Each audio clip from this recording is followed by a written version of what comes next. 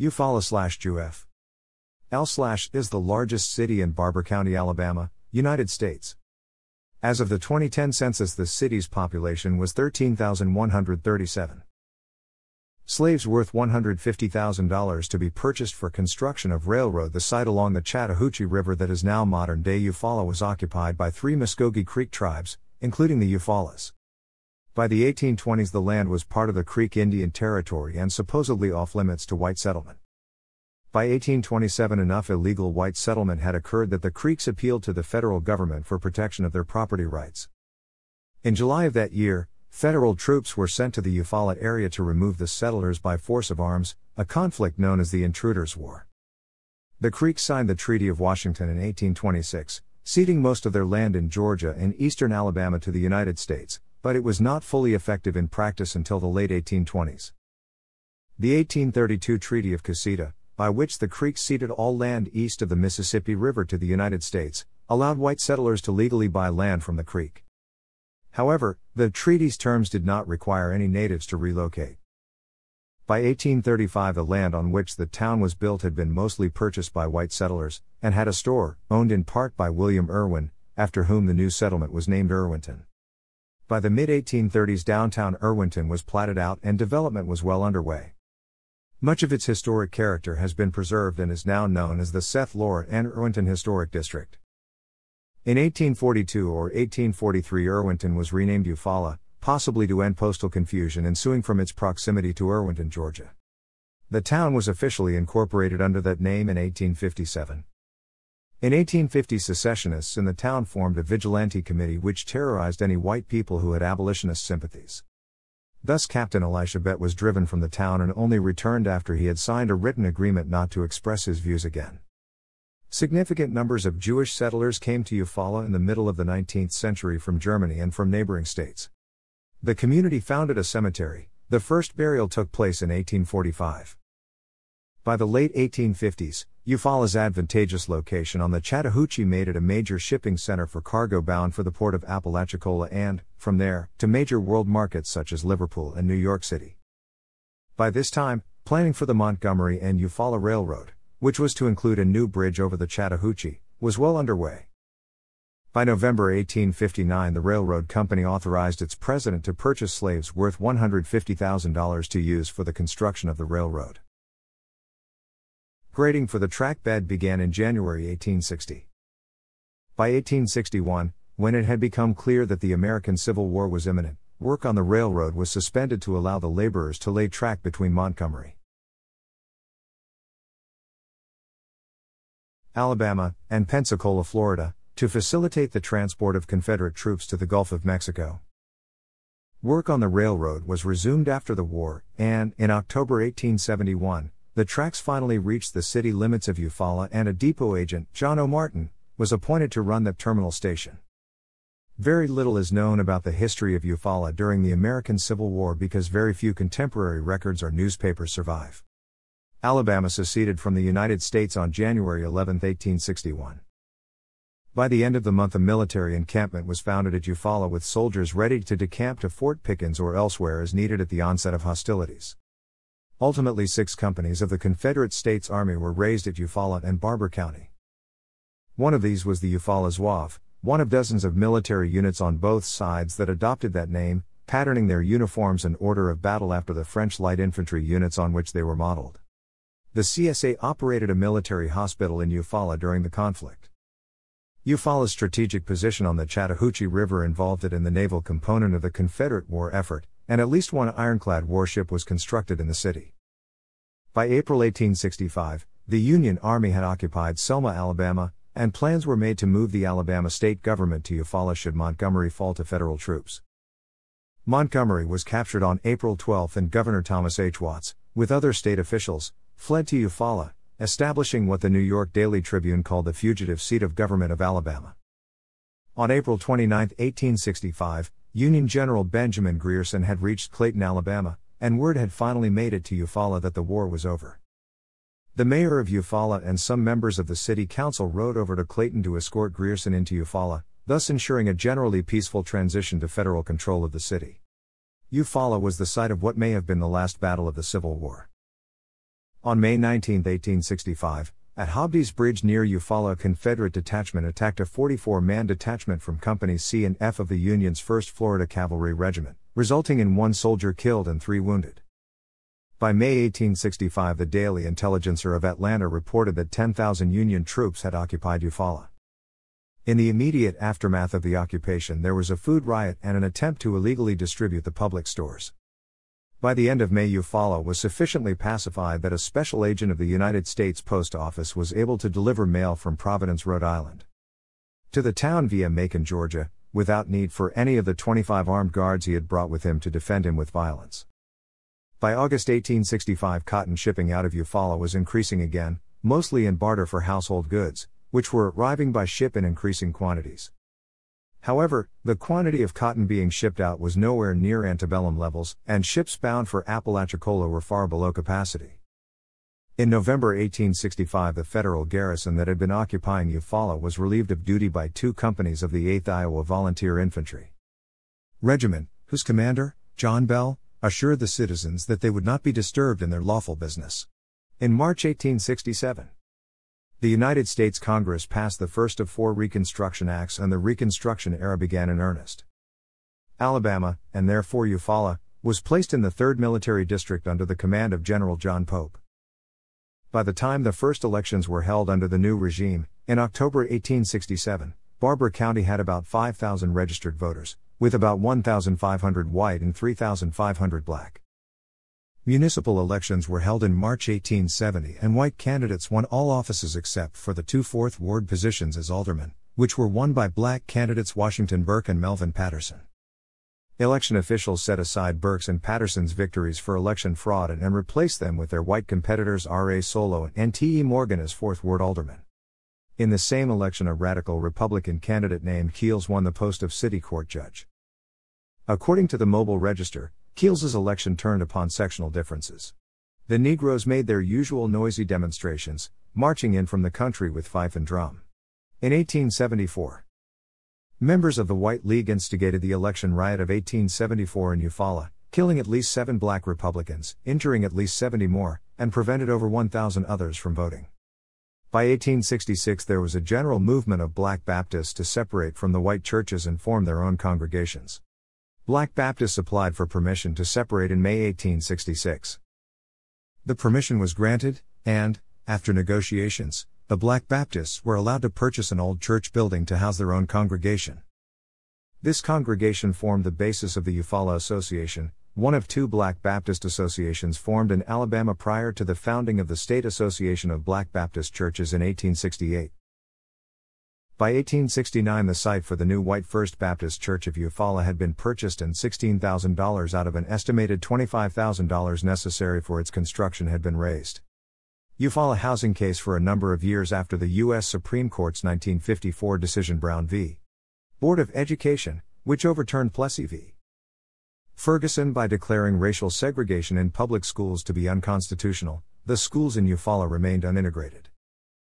In 1955, the Eufaula Housing Authority sought to use eminent domain to condemn land on which a number of black families had lived since emancipation in order to build public housing, a park, and an expansion of the White High School. The residents of the neighborhood, surrounded on all sides by white areas, thought that the city's motive was actually to keep their children out of a newly built high school once the now inevitable racial integration occurred. In 1958, civil rights attorneys Fred Gray and Constance Baker Motley filed a suit in the U.S. District Court claiming that their clients' constitutional rights were being violated by the plan. The federal case was dismissed, but Gray appealed to the Alabama Circuit Court, where the case was heard by then Judge George Wallace. As before, Gray claimed that since the new development would allow white residents only, their civil rights were being violated by the city. Although his appeal of the constitutional issue was unsuccessful, Gray also appealed the city's valuations of his client's properties and, arguing before all white juries in Wallace's court, managed in most of the cases to win much higher prices. Voting Rights Act of 1965 After the passage of the Voting Rights Act of 1965, the United States Department of Justice sent federal observers into 24 southern counties to enforce its provisions regarding voter registration for the fall 1965 elections. Many of these counties saw a significant increase in black registration, but Eufaula, not having federal supervision, had comparatively low rates. For instance, on August 16, 1965, 600 black citizens waited in line at the county courthouse in Eufaula to register, but by the time the office closed, only 265 had managed to fill out the paperwork. In 1966, the Student Nonviolent Coordinating Committee responded by appointing a local Eufaulan, Daddy Bone, to organize voter registration drives in Eufaula. Bone initiated a series of nonviolent protests and boycotts of local stores that refused to hire blacks, which attracted SNCC supporters from around the southeastern United States. The city of Eufaula, under some pressure from the businessmen whose stores were targeted, passed anti picketing laws and began arresting demonstrators en masse for violating them. Bone brought in civil rights lawyer SSC to defend the protesters, who were mostly convicted, and in such numbers as to overwhelm the county jail. School integration In July 1968, the United States Department of Justice filed suit against 76 Alabama school districts, including that of Eufaula, in an attempt to bring them into compliance with Brown v. Board of Education. Schools in Eufaula remained segregated by race until the fall of 1966, and the first blacks graduated with the senior class of 1967. After integration began, the school stopped sponsoring social events, such as proms, although unofficial segregated events were still held. By 1990, students at Eufaula High School had begun pressuring school officials to allow them to hold integrated proms, and the first such was held in 1991 without incident. In 1963, the U.S. Army Corps of Engineers created Walter F. George Lake behind the lock and dam of Fort Gaines, Georgia, once again assuring Eufaula's importance as an inland port. In the early 1960s, the United States Coast Guard set up an aids to navigation team in Eufaula that is still active today, servicing from Columbus, Georgia, to Apalachicola, Florida, and the Flint River. In 1964, the Eufaula National Wildlife Refuge was established along Lake Walter F. George to serve and protect many endangered and threatened species such as the American bald eagle, the American alligator, the wood stork, and the peregrine falcon. The refuge is a major tourist attraction for visitors from around the country. On March 3, 2019, a tornado hit the city as part of a larger tornado outbreak. On March 31, 2020, another tornado struck the city. There were no reports of fatalities or injuries. Eufaula has never had an African American mayor. Jack Tibbs Jr. won his third term as mayor in 2020. Eufaula is located at 31 degrees 53 apostrophe 21. 732 inches north, 85 degrees 9 minutes and 13.586 seconds west. The city is located along U.S. Highways 82 and 431 in southeast Alabama on the Georgia state line, adjacent to the city of Georgetown, Georgia, which is east across the Chattahoochee River from the city.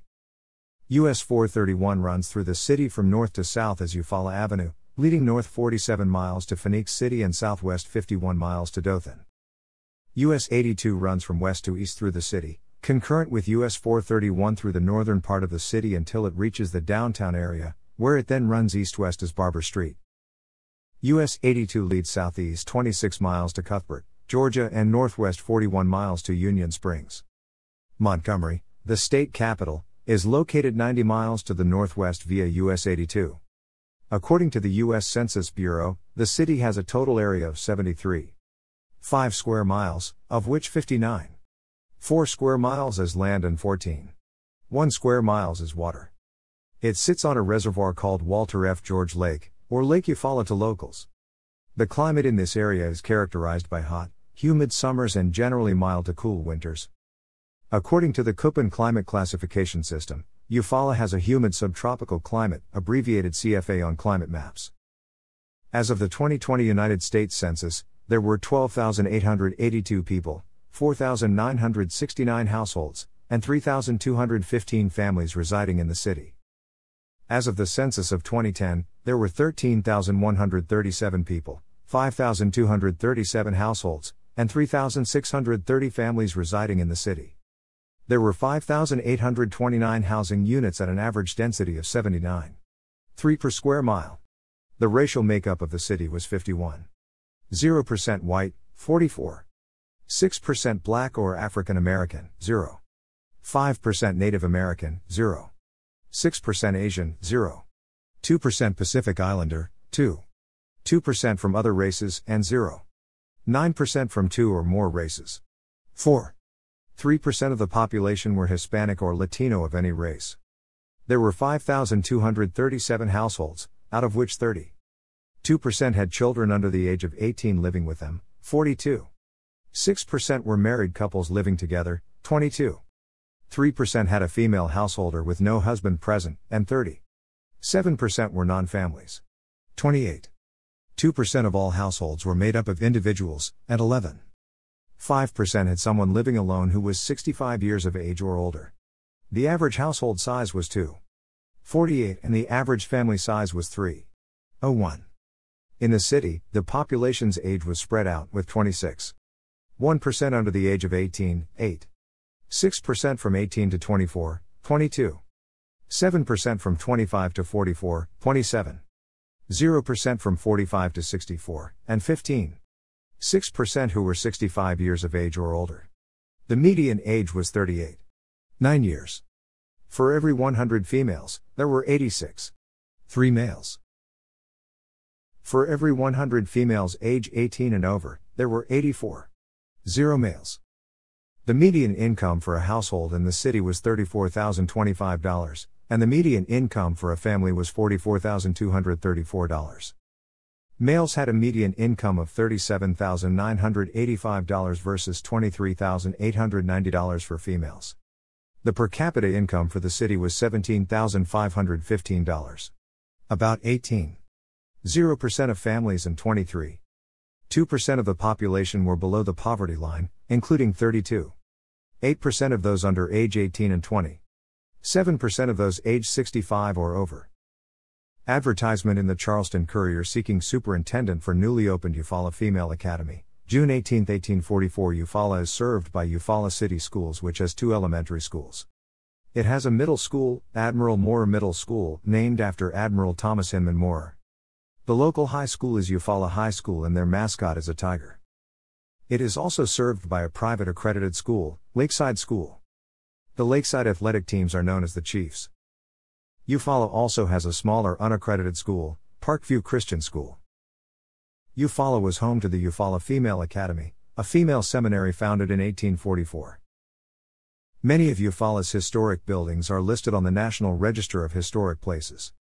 Other historic buildings include the Eufaula First United Methodist Church and the First Baptist Church of Eufaula. The Seth Lore and Irwinton Historic District, with 667 contributing properties, is the second largest historic district in Alabama. The Shorter Mansion was built in 1884 by Eli Shorter and is recognized by the National Trust for Historic Preservation. The bottom floor is often host to many receptions and events, while the second floor serves as a museum honoring the six Alabama governors from Barbour County, as well as Admiral Thomas Moorer, a former chairman of the Joint Chiefs of Staff. Fendall Hall, built from 1856 to 1860, is an Italianate style historic house museum that is owned and operated by the Alabama Historical Commission. Lake Eufaula is known as the big base capital of the world. Eufaula was home to a minor league baseball team, the Eufaula Millers, in 1952 and 1953. In the 2002 film Sweet Home Alabama, the historic homes shown in Melanie's Return to Pigeon Creek were shot in Eufaula. The tree that owns itself is an oak tree in Eufaula that has been replaced several times. It was given the ownership of its land by the governor in 1936, with each of the two replacements receiving the ownership to the land too. Confederate soldier Captain John A. Walker previously owned the land. Thanks for watching.